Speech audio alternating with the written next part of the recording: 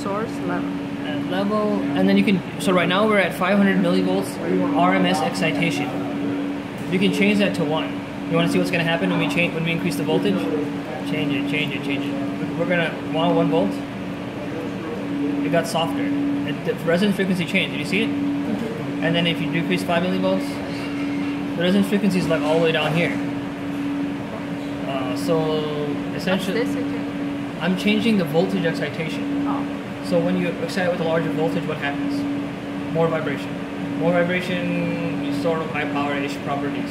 So when you get when you increase the vibration level, generally the material property reaction is that the compliance increases, which means the stiffness decreases, which means it gets softer, which means the resonance frequency gets lower. And it becomes a more lossy material. So the Q decreases, the losses increase, uh, everything shifts over everything shifts over this way, this way when you increase the voltage.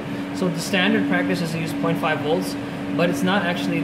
But in this case, the resonance at, at the, the the frequency of resonance is much more affected because there's a lot of vibration at resonance for a given voltage value.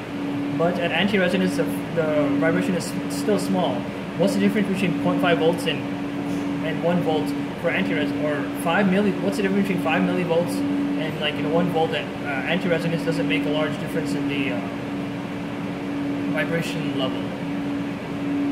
So okay, ne- never mind. Maybe maybe you learn later, but basically the change in voltage uh, doesn't change the anti-resonance uh, that position that much.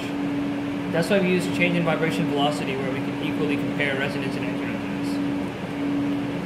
So, but this is this is a standard standard equipment that we use. But this is the fault of this material. This this the, the fault of using an impedance analyzer to calculate properties of, uh, of a piezoelectric element is because at resonance and anti-resonance, the current is is very different, or the you could say the vibration is very different. So, uh, but in the vibration from our experiments and stuff, um, the properties are better characterized with edge tip vibration.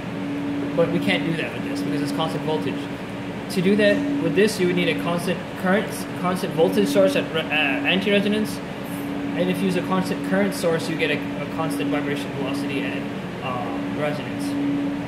So there, as a, there's mentioning, there's some limitations in this, but it's a very standard equipment. And uh, if you want to report material properties in a very standard way, that this is the uh, this is the this is the method to do it, and also to give you values that you know will be uh, reasonable. Some things you may measure in the lab, they may be completely off. The way you check it is you look at the reasonable values that you'll get from this. Uh, uh, device, you know, this device. For example, you can measure the quality factor of resonance. If you find this to be 1,000 and you find your material to be 200, just at a low excitation, then you're going to see there's a big problem there. Something's wrong with my circuit, or I'm doing some calculation incorrectly, or this is a very good reference device. And um, I don't like this. This is I don't like that. You can also do, for example, you know how we have in lab like this thing? I'm sure you've seen it. You have this. Basically, it has smaller electrodes here, and smaller holders here, so it's less likely to impede. See, this is a pretty big, pretty big, big thing right here. Uh, if you look at it, it's pretty flat. It's pretty fat. So it doesn't really go. I mean, because it's so big, it, it's the sample. It's gonna clamp the sample, sort of.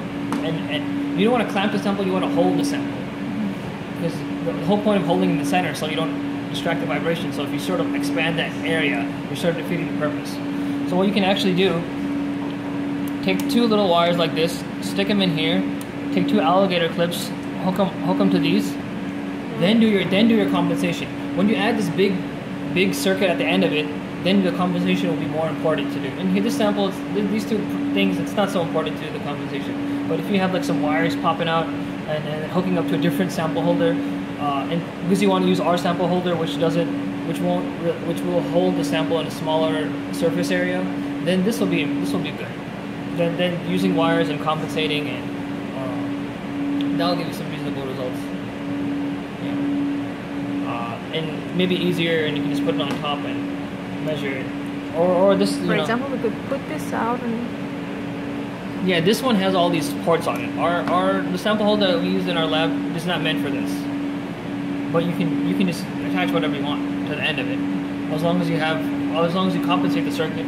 You know, short circuit compensation, open circuit compensation. If you have a large circuit at the end, it's more important to compensate. It's I don't think it's as important, but if you want to do it, you know, super accurate or whatever, uh, and have the best practices, you would say, okay, your sample is about one millimeter thick. You would adjust this to one millimeter, and then clamp it, uh, then turn the knob, and then you would do your open circuit calibration. Because this is actually what the open circuit means. It means everything but the sample. So this thickness, you know, because because uh because because air has some permittivity in it. You know, air has a permittivity which is equal to one times the permittivity of free space. So the air has some effect on it. This gap has some effect. So this is probably not necessary for us because uh, our our permittivity is over a thousand, so kind of not really make any difference. But it may make some difference. So usually we don't measure it out carefully. You can just do it like that. Just clamp it like this and then. For short circuit, obviously you want to short it. You want to clamp it. You want to have it shorted like this. Because wires have inductance on them. If you take, if I just hooked up one wire from here to here, and I cranked up the frequency at one megahertz, you'll see some resist. You'll see some impedance. Where you're like, this is a wire. Why does it have impedance? Because at a high frequency, the wire is like acting like a uh, uh, acting like an inductor. This is a small coil. Like it's not really a coil. You would say this is a this is a, a wire, but that's what that's what it does.